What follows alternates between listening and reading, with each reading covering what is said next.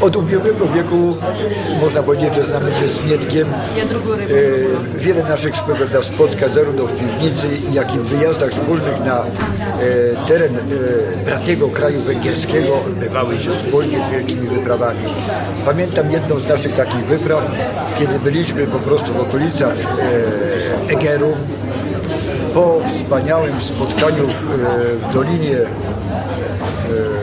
Wielkich Dziewic Węgierskich, tak to się nazywa na, po prostu ten wąwóz, gdzie są e, winnice, jak i również piwnice win węgierskich, prawie 17 gatunków.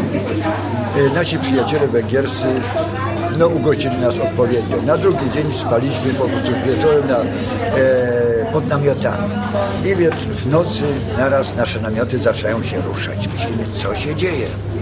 Wychodzimy na zewnątrz, i oczom nie wierzymy. Rozumiemy, że jak jest duża degustacja, to się białe myszki. Ale my w tym momencie widzimy białe krowy. I było zaskoczenie. No to musi być super kac. Białe myszki, a białe krowy. Mówimy, no to już tragedia przy takiej historii, no to musi być wyjątkowo dobrze, prawda, na drugi dzień ustawić. I po tych wszystkich, prawda, e, naszych e, przerażeniach, na drugi dzień przychodzą nasi przyjaciele węgierscy, mówią, słuchajcie, białe krowy, to myśmy aż z Tybetu to przyprowadzili. One mają białe barwę ochronną, stąd są białe. To nie jest wasz kac, to nie jest jakieś wasze, prawda, trudne e, spojrzenie po próbie, po degustacji, ale to jest naturalne nasze ustawienie. Dzięki temu nasza wołowina nie ma żadnych tłuszczowych historii. Nasza, e, nasze krowy i woły się całą zimę paszą na zewnątrz i są, są bardzo smaczne i są bez tłuszczu.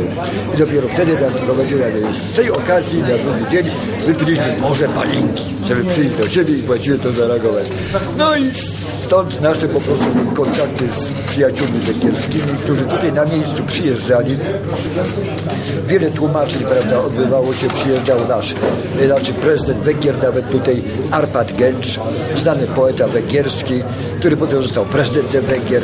Myśmy mu tłumaczyli jego książkę na język węgierski, to był zachwycony i odpowiednio to wszystko e, Mietek e, wziął i sprawę pozytywnie muzycznym ustawił. On był niepowzięty, zrobił takiego przyjęcia, takiego spotkania, jeszcze z takim podkładem muzycznym, to on w życiu nie przypuszczał, że będzie miał. No i to na wszystkim odkrył Do tej pory są wspaniałe prawda, dedykacje od prezydenta Węgier e, za to kapitalne spotkanie. No co nam najbardziej odkryło w pamięci. No, wiele innych drobnych rzeczy, ale to najbardziej było symptomatyczne.